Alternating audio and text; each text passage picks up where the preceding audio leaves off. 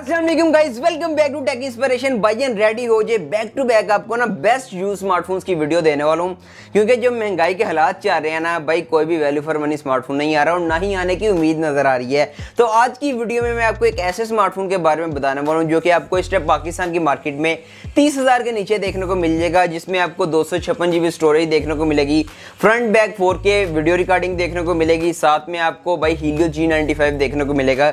यानी अच्छी गेमिंग भी होने वाली है रिफ्रेश रेट भी है फास्ट चार्जिंग भी है। तो ओवरऑल एक काफ़ी डिसेंट पैकेज है। अगर आपको तीस हज़ार के नीचे स्पेशली दो सौ छप्पन जीबी स्टोरेज चाहिए ना तो ये स्मार्टफ़ोन आपके लिए एक बेस्ट ऑप्शन बन सकता है। वीडियो को कंप्लीट से देखिएगा, ताकि आपको मैं बता सकूँ कि भाई, ये स्मार्टफ़ोन किस किस यूज़र ने परचेज करना है और मैक्सिमम किस प्राइस टैग में परचेज करना है। और ये स्मार्टफ़ोन आपको कहाँ से मिलने वाला है? आप ज़्यादा टाइम वेस्ट नहीं करता। अगर फ़र्स्ट टाइम चैनल पर आ गए सब्सक्राइब कर लें लाइक कर दें। क्योंकि ये सीरीज़ में आप स्टार्ट करने वाला हूँ यूज़ स्मार्टफ़ोन की बेस्ट यूज़ स्मार्टफ़ोन की। और आज की वीडियो में मैं जिस स्मार्टफ़ोन की बात करूँ, वो है भाई इन्फिनिक्स के एंड से इन्फिनिक्स नोट टेन प्रो की। यस काफ़ी ओल्ड स्मार्टफ़ोन है आई नो मैंने इसके ऊपर लाइक पंद्रह बीस वीडियोज़ आपको दी हुई हैं और भाई इसके बारे में ना ऐसे लाइक जिस तरह हिफज हो गया होगा ना ये स्मार्टफ़ोन मुझे वो वाला सीन है, इस स्मार्टफ़ोन के साथ मेरा। अब डिस्प्ले की बात कर ली तो भाई टेन एटी का डिस्प्ले है, नाइनटी हर्ट्स है रिफ्रेश रेट है, एक अच्छा डिस्प्ले है। अगर आप बात कर लिए आईपीएस की तो कलर भी ठीक है ओवरऑल गेमिंग के लिए हाई रिफ्रेश रेट भी है। तो डिस्प्ले के मामले में आपको इतना ज़्यादा इशू देखने को नहीं मिलने वाला। हाँ लेकिन अगर आप बैठ जाएँगे इसको एमलेट से कंपेयर करने तो डेफिनेटली भाई आपका माइंड खराब होने वाला है। कैमरे की बात कर लिए तो 64 मेगापिक्सल का मेन सेंसर है क्वाड कैमरा सेटअप है 4K बैक है। फ्रंट 16 मेगापिक्सल का सेल्फी शूटर है 4K फ्रंट है। हीलो जी है, अच्छी गेमिंग है। यहाँ पर इसका gaming test camera test, dedicated channel पर अपलोडेड है। अब जाके वो भी जाके चेकआउट कर सकते हैं। फास्ट चार्जिंग है डोल स्टीरियो स्पीकर है डी टेक्नोलॉजी है अच्छा डिज़ाइन है। तो ये तो होगी इसकी कुछ ओवरऑल स्पेक्स अब बात कर लेते हैं कि भाई ये स्मार्टफ़ोन किसने परचेज करना है, किसने परचेज नहीं करना। और ये स्मार्टफ़ोन कहाँ से मिलेगा और कितने में देखने को मिलेगा।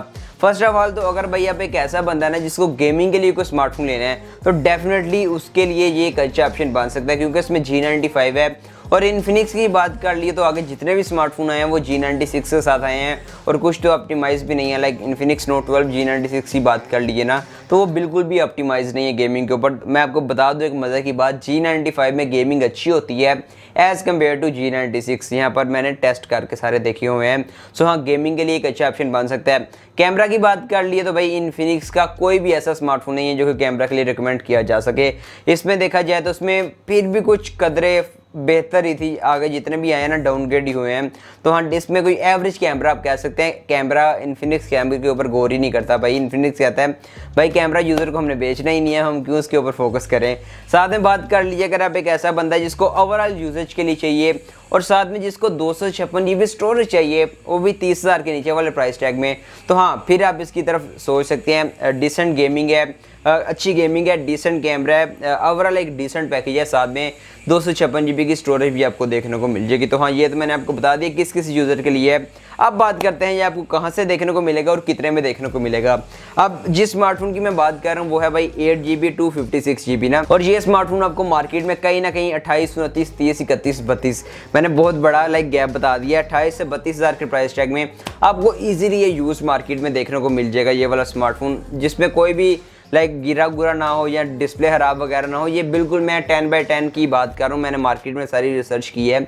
उसके बाद आपको ये वाले रेट्स मैं कोट कर रहा हूँ। तो अगर आपको तीस के आसपास ये वाला स्मार्टफ़ोन देखने को मिलता है ना तो डेफिनेटली आप इसकी तरफ़ जा सकते हैं। अब ये आपको मिलेगा कहाँ? ये आपको ओलेक्स पे देखने को मिल जाएगा, ये आपको यूज़ मार्केट में देखने को मिलेगा। थोड़ा बहुत भैया आपको, भाई हिलना जुलना पड़ेगा स्मार्टफ़ोन को अरेंज करने के लिए ना। बाकी मेरे मुताबिक अगर आपको कोई इन्फिनिक्स का स्मार्टफ़ोन चाहिए, अगर आप अगली सीरीज़ के ऊपर जा रहे हैं तो आई थिंक सो ये बेस्ट ऑप्शन है उससे। साथ में दो सौ छप्पन जी बी मिल जाएगी। अच्छे गेमिंग भी अच्छी वगैरह हो जाएगी ना।